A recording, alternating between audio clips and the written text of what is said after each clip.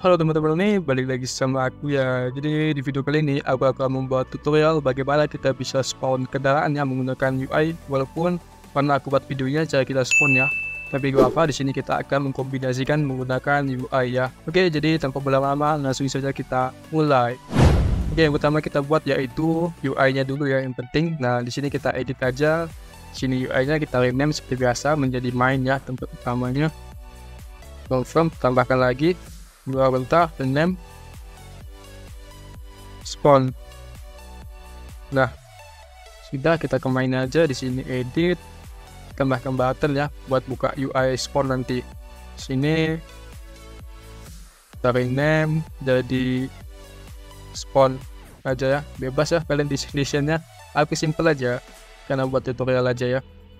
Oke di sini kita property tambahkan script untuk ganti ke UI lain to comment, execute pakai current player ya jangan lupa jangan pilih player.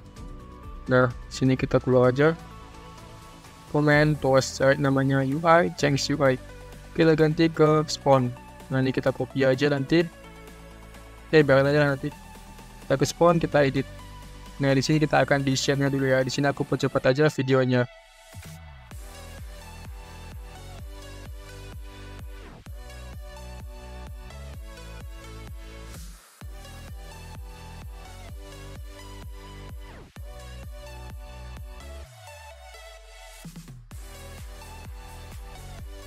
Oke ini udah jadi ya uh, desain sederhananya jadi aku menggunakan apa? Gambar aja biasa di bawahnya ini button dan langsung spawn kendaraannya ya.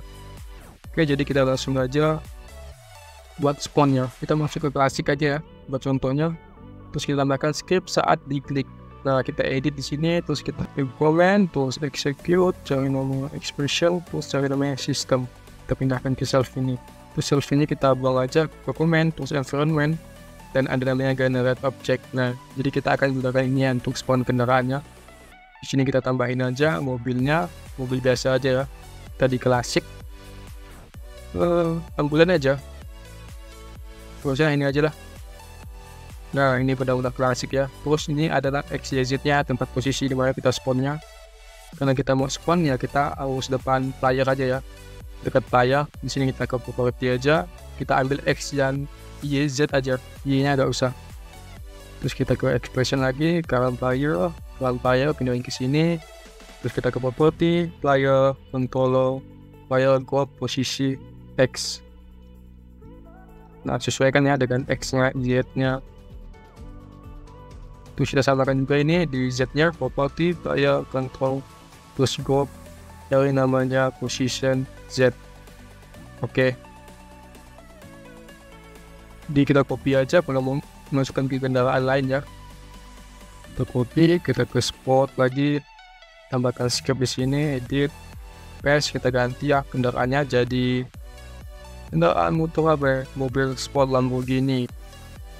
Kita copy lagi kita ke res tambahkan script paste kita ganti lagi jadi apa tadi racing. Mana racingnya? Ambulan aja. Karena ambulan kan cepat itu Oke sudah terus kita di X nya ini kita tambahkan ya. Keluar. Content Execute. Expression Current Player Change Comment Terus UI Change UI Kita change ke Main. Oke jadi kita coba keluar ya. Ke main. Dan coba kita spawn. Di sini muncul lah kita X Bilang Nah jadi kita coba spawn kendaraannya. Classic. Kita lihat kendaraannya, nah muncul ya. Nah, ini bisa ya. Oke. Berarti berhasil, tapi kayak jadi apa ya, masuk dalam tanah. Jadi kita atur ketinggiannya dulu. Dan kita tambahkan beberapa script ya. Di sini kita masuk ke UI, spawn, edit. Ini klasiknya. Kita edit, ini ketinggiannya kita 2,5 aja ya. Terus kita tambahkan skip di sini. Supaya dia habis kita spawn maka UI nya tertutup maka kita execute expression current player. To comment terus UI change UI change ke main nah sini kita copy aja. Kita ke swap. Tambahkan skip. Paste ini jangan lupa tadi 0,5 oke sudah. Kita copy lagi nih. Kita keluar kita ke res. Edit kita paste. Kita paste lagi video ini 0,5 supaya gak terlalu ke dalam supaya gak terlalu mendap ke tanah ya. Oke kita coba keluar lagi. Ini kita spawn yang paste ya. Nah berhasil ya tapi ini apa ya? Masih ngendap kayaknya harus ke satu aja. Terus ke UI sport edit klasik edit ini iya nya ini satu aja deh. Keluar lagi spot lagi.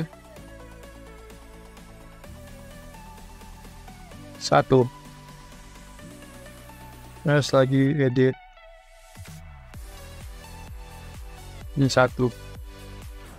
Oke keluar langsung coba lagi spawn. Spawn klasik Let's. nah ini ya ada tinggi ya. Spawn lagi yang spot.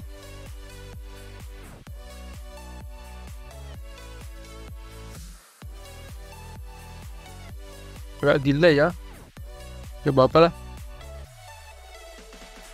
Ini kita coba masukin ya berhasil ya. Kita buat UI spawn kendaraan. Kita keluar. Kita spawn lagi. Nah. Jadi ini posisi apa namanya? Mobilnya tergantung dari apa sih pembuat model ada dia simpannya di mana. Jadi kita gak bisa secara pasti dekat player ya. Tergantung juga si pembuat modelnya.